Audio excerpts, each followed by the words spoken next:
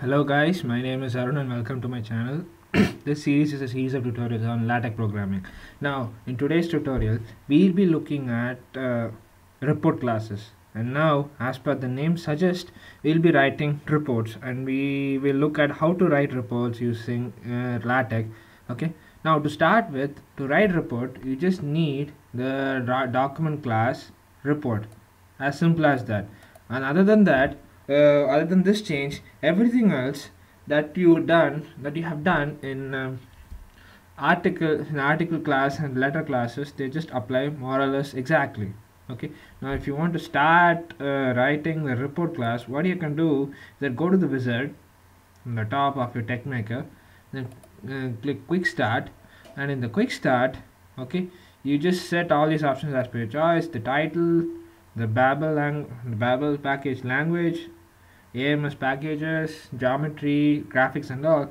And the one thing you have to keep in mind is that when you go to the document class, instead of article, set it to report.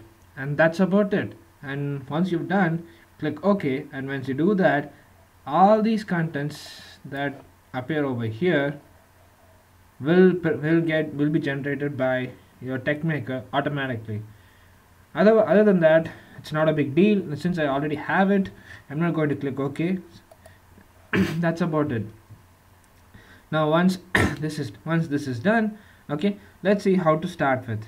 Now uh, now there is actually a small big small difference between an article and a report. Now in a report class accepts chapters whereas article class do not accept chapters when you saw in the article class there uh, if you want to make divisions in the document okay in article class we use the option called as sections subsections sub subsections okay? But in article class if you try and make a chapter out of it it won't it will not be possible because the article class is you know it's an article. You don't have chapters in an article. It's just an explanation. Liter uh, as the name su- suggests.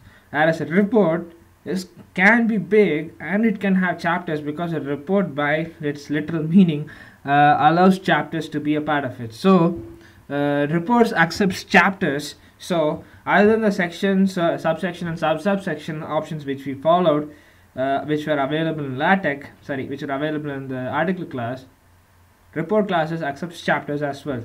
Okay? Now let's start with it. Now to start with the chapter what you have to do is you just have to type this follow this content. Let me just paste it for you. That's about it. You just write a chapter start a chapter using this backslash chapter command and inside this command okay you just write the chapter name. Now uh, i just want to be a little funny over here so i just sta- starting with the chapter i'm just writing a chapter called as vegetarians. Just for a joke okay? Don't take it seriously anybody. I'm a vegetarian by the way. Just for a joke. Okay now this is will be chapter name and if you want to have a section under this uh, under this chapter just write section and then try uh, start writing your contents. So now if i put it over here now the first chapter is vegetarian and it has a section called as intro. That will be the section name and it will start writing content so if i were to save this uh, build this okay and now if you look at the table of contents it's empty because it is empty if i run this again. Okay now there you have it. The table of contents start it start filling up. It says that you have one uh, is vegetarian and it's in, it's on page number two. And then intro starts with page number two again. Now if you look at the if you look at the main contents into it the document the report has one chapter and it's named numbered as chapter one and the chapter name is vegetarians as we mentioned in the chapter title. And then afterwards the section and uh, section is named as intro and then all the things we we wrote under this section uh, they just start filling up. And they and, and they just start filling up. Now one interesting thing you have to keep in mind here is that uh, in article classes the sections will be numbered just one two like that. No point something nothing like that whereas in articles sorry i mean that's an article. Whereas in reports the chapter name okay the numbering system goes like chapter name chapter number section number subsection number and sub subsection number. So you have four four values to describe the sections any any particular individual parts. Whereas in uh, articles you just have only three levels like sections section name section number subsection number sub subsection number. Like that you have three levels over there so so you have to keep in mind that sections will be numbered with 1.1 like chapter number and then section number like that. Okay? That's about that. And if you want to have a subsection just go on with it and just write it. So and then if you write subsections like this and there you have it. If you look at the top uh, you have uh, you have the chapter number. Okay let me zoom it up for you. Yeah the chapter number section subsection like that suppose if you want to have a subsection in your report it's quite it's easy as well. So what you can do is just write sub subsection as we mentioned over here cut it. I just paste it up over here. Run it. Run it. Okay let me just zoom it out for you. The sub subsections do not get numbered but they do get appear but they do appear in the table of contents. So if I just run it again um, come on. Okay I guess the sub subsections do not get numbered nicely I guess. Let's see. Now anyway anyway moving on. Like if you want to write another section and stuff and if you want to just continue with the same format as we looked above you can just proceed with that and let me cut all this and paste it over here. I'm just including two or three more sections into it. Now let me build this up and zoom zoom out a bit. And there you have it. This is your first chapter. And your first chapter has three sections.